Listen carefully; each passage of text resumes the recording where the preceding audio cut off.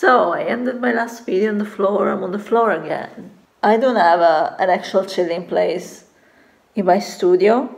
I laid out the, um, it's like a picnic blanket I bought years ago. It's quilted. I just finished having lunch and I'm destroyed partly by food, partly by life. Yesterday I actually took a break uh, from filming because I was pretty tired by drawing every day and also filming every day. Even though I enjoy it, it makes obviously the drawing phase much longer. I cannot exactly do a four week vlog because the last part, which is this one, will be longer than seven days. So I thought it's okay if I skip a few days, I guess. And yesterday was one. In any case, I didn't film the actual drawing phase, but this is the drawing. It will never focus, never, ever, never, ever, never, ever, ever. Never. I'm pleased that people actually liked this piece. Why is it so light? Anyway, doesn't matter. This one was a drawing inspired by a quote from a book I read this year. I'm not a big reader. This year I read more, possibly because of quarantine. I started the year with this series of four books written by Elena Ferrante. Possibly this is not a real name, I understood. This series of books is about the life of two girls in the south of Italy, Naples, around the 60s. I don't remember specifically now. I really love the books, I read them so fast and the quote I picked is from the third book. Should I read the quote? Maybe it's good to give context. I need to find it. Wait. Look at me being here reading quotes like a person who reads. So the quote is in Italian, but obviously I read it in English because I'm not sadistic. It was a verb that I always I can't read apparently. Become it was a verb that had always obsessed me. I wanted to become, even though I had never known what. And I had become, that was certain, but without an object, without a real passion, without a determined ambition. A lot of quotes from these books hit me, and this one is one of those that I can actually take out of context because you don't need to have a story behind it to understand what this means. I always felt like I'm really driven towards what I work for. My problem is that I often don't know what I'm working for or what I'm striving for, and this slows me down. So I feel like I'm always been um, evolving and growing. For sure, I can see that. I can see that year by year, um, but I feel like I don't know where I actually want to be or like what I'm actually again striving for building towards or what I should build. So this is this sentence is definitely totally me. Let's change angle again. Let's do a creepy angle. Today I have to draw my favorite color in two items. This prompt I created it going completely against myself because my favorite color is blue, as some of you may know, at least for the last couple of years. The problem with blue is that no many things are actually only blue.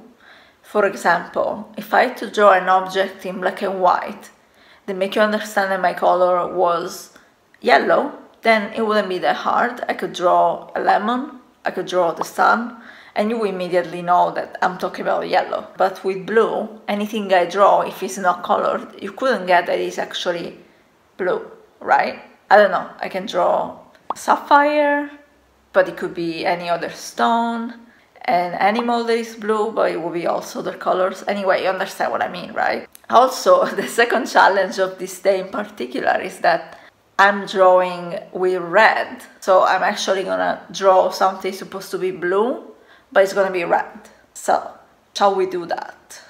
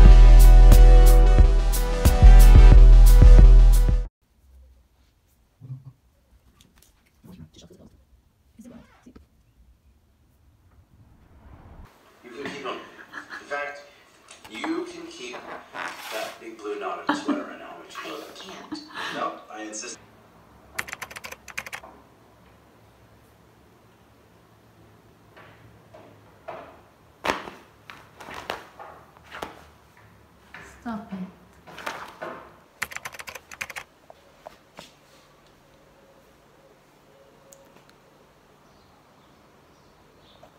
Hmm.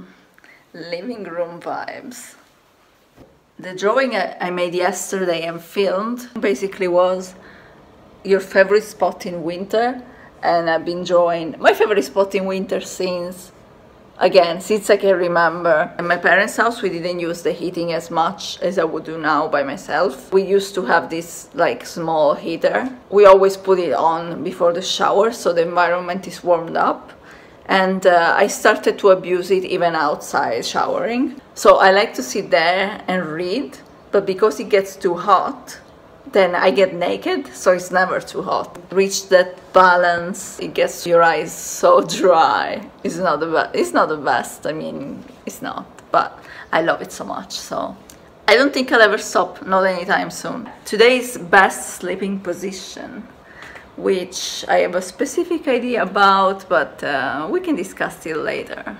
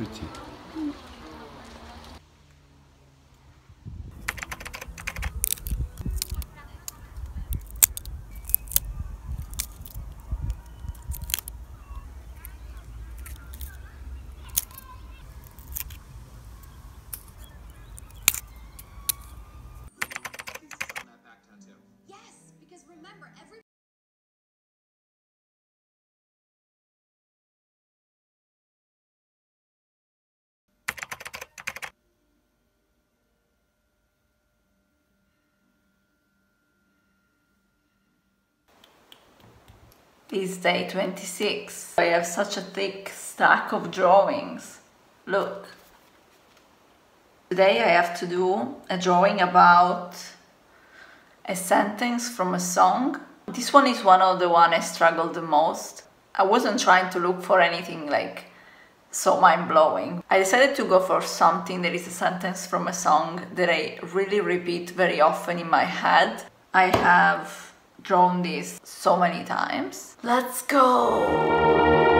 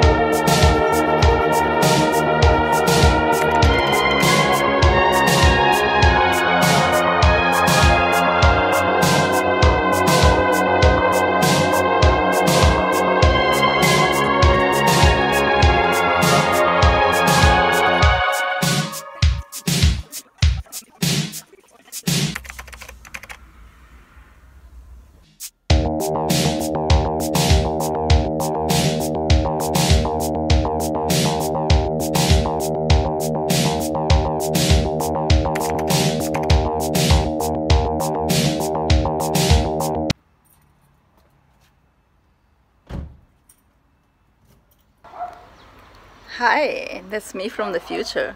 I was editing the video now and I realized that if I put everything together, it, the video is gonna be way too long. So I think I will stop this one here and continue the rest of the challenge next week. I've been already editing that, but I know it will take a while at the end for me to like wrap it up. So it's better to split it in two, I think. So um, see you next week then. Thank you for watching.